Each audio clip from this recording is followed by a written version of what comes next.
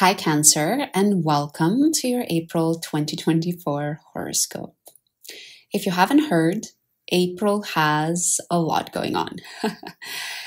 we have a solar eclipse, we have Mars conjunct Saturn, and we also have Jupiter conjunct Uranus, which, by the way, happens once every 14 years. So it's definitely a big event. But let's get into the day by day of the month so that you have a little bit more details on what you can expect. On April 3rd, Venus conjuncts Neptune in your ninth house.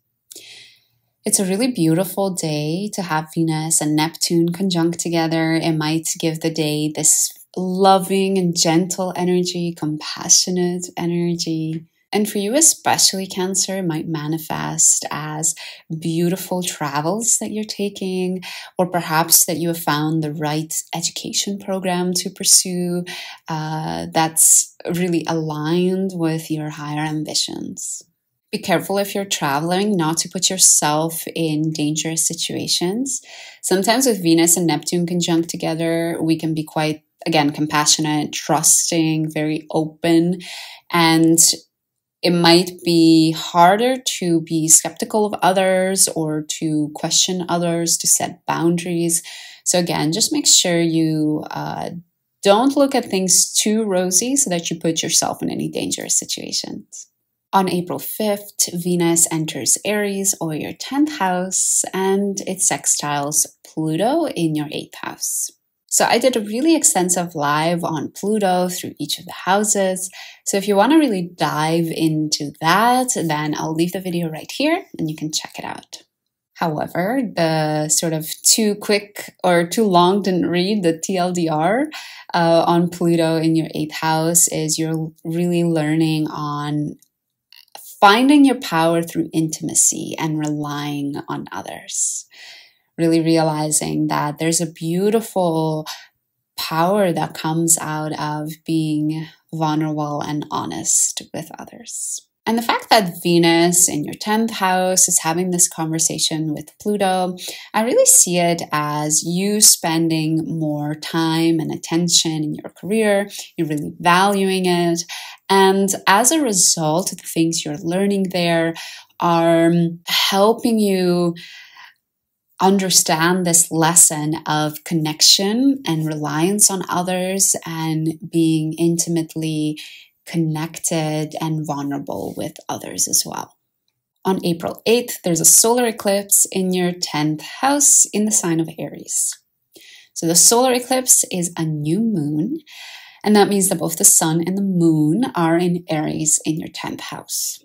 The sun and the moon are in the decan, which is ruled by the sun. So it could be that you are taking actions or decisions during the eclipse that are motivated by your ego. So just take some time to reflect so that you don't make any permanent decisions that just a couple of days later you might not uh, agree with anymore.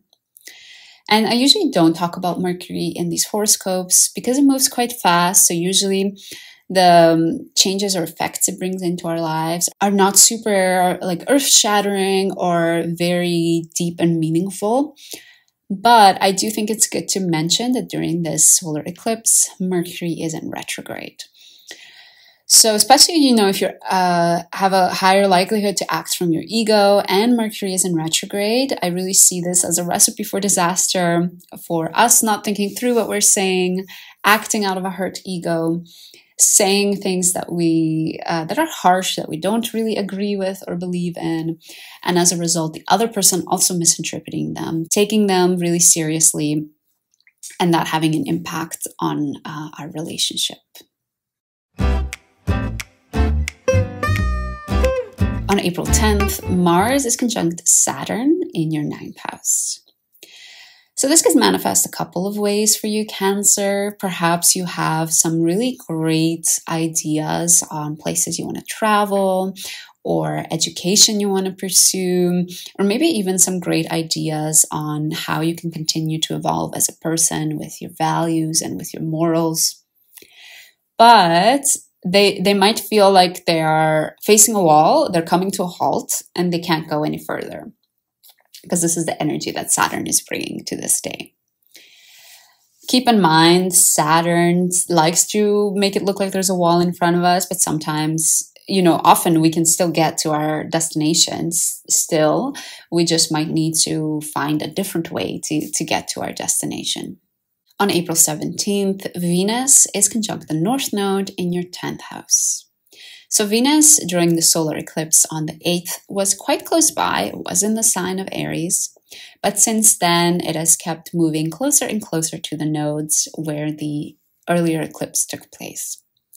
So, I really see Venus touching the nodes again as a moment to reflect on what happened during the eclipse. Sometimes eclipses can feel quite emotionally charged, and we might not be able to take a moment to reflect on what's happening and what this means for us. So, I do think that this is a beautiful day to do that. There might be a little bit less emotion around whatever happened with the eclipse. So, you might be able to uh, finally reflect in um, in a way that's less emotionally charged and you're able to sort of see what that situation was trying to teach you. On April 20th, we have the big event. We have the Jupiter and Uranus conjunction. And for you, Cancer, it's happening in your 11th house. As I said earlier, Jupiter and Uranus are only conjunct once every 14 years. If you want, you could look back to the types of feelings and things you were facing 14 years ago when they were conjunct.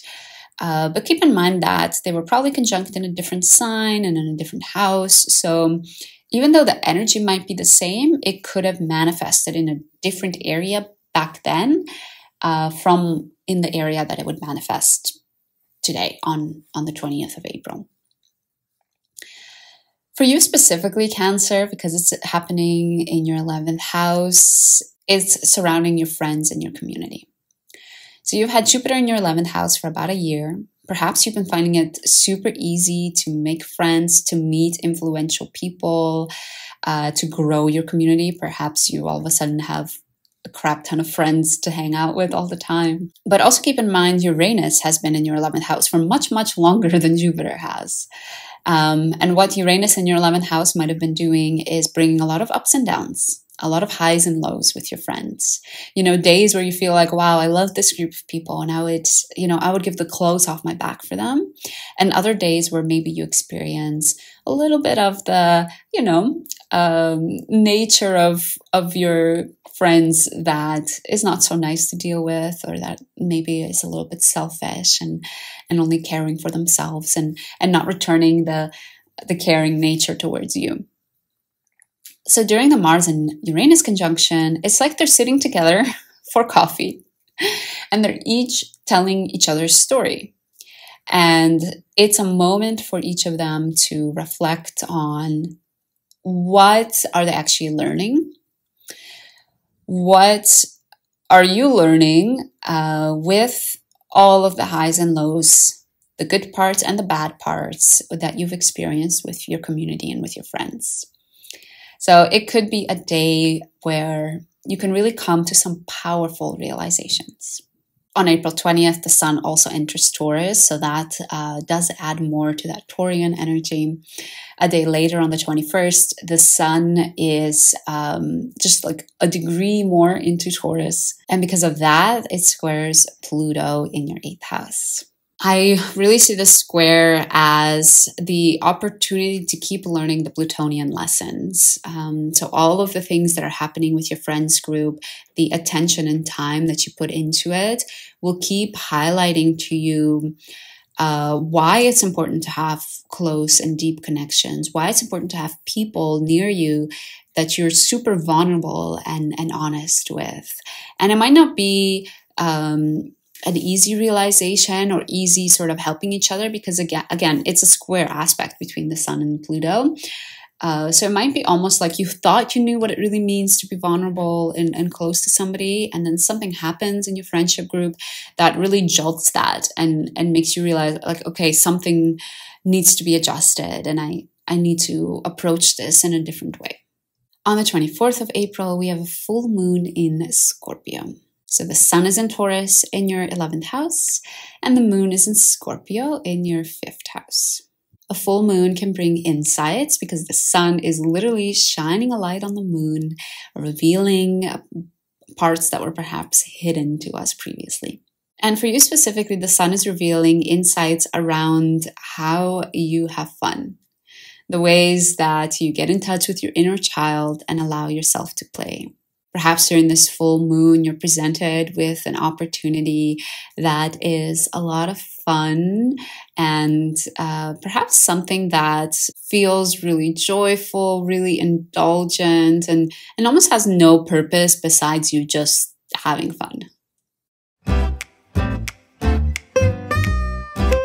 On April 28th, Mars is conjunct Neptune in your ninth house. Mars conjunct Neptune is actually such a beautiful aspect again. Mars is the planet of action, and Neptune is this lofty spiritual connection um, and ideals. So it's almost as if you're taking actions during this day that are for the higher good of humanity, that allow you to act in a spiritual way, to show up in a spiritual way, maybe support others as well. And, you know, Cancer, this is in your ninth house. So maybe you're deciding to travel to a place that will help you get in touch with your spirituality better. You know, maybe you're booking your meditation retreat but it could also be that you're picking up some more spiritual studies as well. Or maybe even that you are shifting your belief system, your morals, your values to be a little bit more idealistic and more focused towards the rest of humanity and not just towards yourself.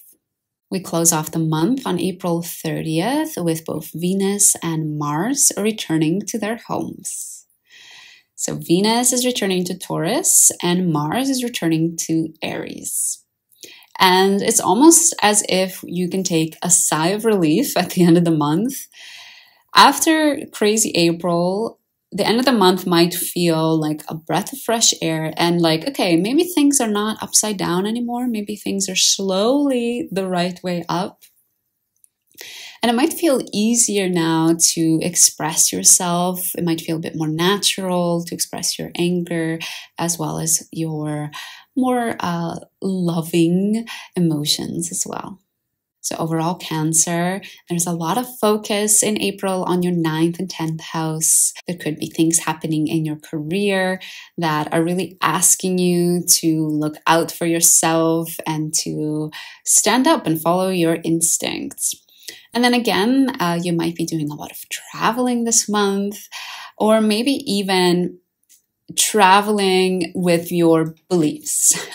if you're not traveling physically, at least you're traveling in a way that you're exploring um, what it is that you actually believe in, what lifestyle do you want to live, and just being really open um, and reflective on, yeah, on where you see yourself going.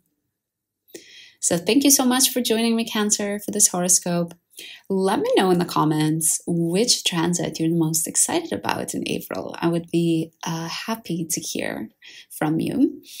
And I hope to see you for the May horoscope as well. If you want to make sure you catch that one when it comes out, then make sure you subscribe. I hope to see you again soon.